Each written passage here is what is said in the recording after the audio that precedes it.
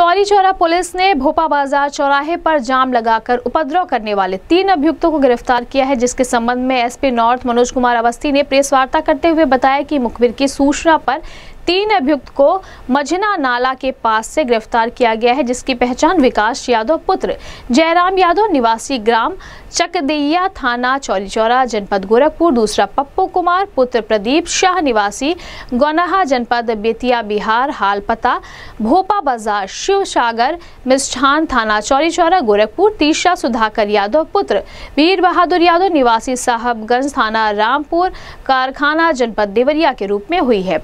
SP north ने बताया कि थाना जगह क्षेत्र के सेना में नियुक्त जवान धनंजय यादव, पुत्र रामनाथ यादव, निवासी राघोपट्टी पडरी थाना जगह, जनपद गोरखपुर की मृत्यु पूर्व में सिक्कम में हो जाने के उपरांत 25 मार्च को शव को गाँव राघोपट्टी पडरी में लाए जाने के उपरांत उपद्रवियों द्वारा अनावश्यक रूप से थाना चौरी चौरा के भोपा बाज़ार में रोड जाम करके धरना प्रदर्शन व ईट पत्थर चलाया गया तथा सार्वजनिक संपत्ति व वाहन क्षतिग्रस्त व नष्ट किए गए, जिससे मौके पर अफरा तफरी का माहौल व्याप्त हो गया था, जिसके संबंध में स्थानीय थाने में मुकदमा पंजीकृत हुआ था, जिसमें 27 मार्च को नौ अभियुक्त व 29 मार्च को चार अभियुक्त को गिरफ़्तार कर जेल भेज दिया गया था। बाकी अभियुक्त की गिरफ्तारी के लिए घटना में शामिल उपद्रवियों की फ़ोटो जगह जगह चिपकाई गई थी, जिसको देखते हुए मुखबिर की सूचना पर आठ अप्रैल को तीन अभियुक्तों को गिरफ़्तार किया गया। गिरफ़्तार करने वाले पुलिस टीम में चौरी चौरा थाना प्रभारी मनोज कुमार पांडे,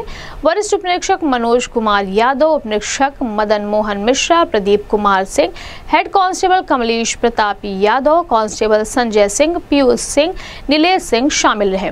इस संबंध में गोरखपुर न्यूज़ से बात करते हुए एसपी नॉर्थ मनोज कुमार अवस्थी ने कहा।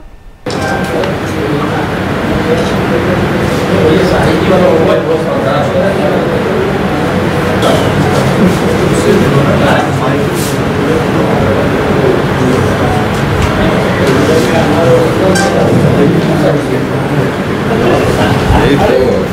怎么跑来了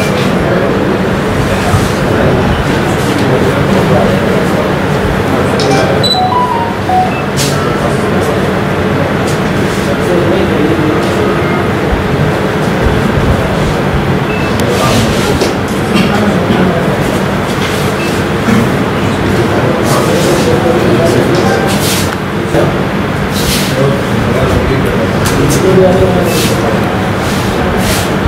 विगत दिनों शहीद धनंजय कुमार के शव के संदर्भ में जो चौरी चौरा में उपद्रव हुआ था, उसमें तीन अभियुक्त गिरफ़्तार किए गए हैं, जिनके नाम विकास यादव, पप्पू कुमार और सुधाकर यादव हैं। ये तीनों ही उपद्रव में शामिल रहे थे। इनकी वीडियो और सीसीटीवी फुटेज से मिलान कर ली गई है। इनको जेल भेजा जा रहा है गिरफ़्तार करने के उपरांत। नहीं, इनामी इनमें से कोई नहीं अब 16 लोग गिरफ़्तार हो चुके हैं कुल। और, करीब, अभी जो चिन्हित हैं हमारे, उनमें से करीब 50 लोग बाकी हैं। उनके विरुद्ध कुर्की की कार्रवाई की शुरुआत की जा रही है और कुर्की की कार्रवाई की जाएगी नियमानुसार। जी, सभी के खिलाफ कुर्की की कार्रवाई सभी के खिलाफ की जाएगी।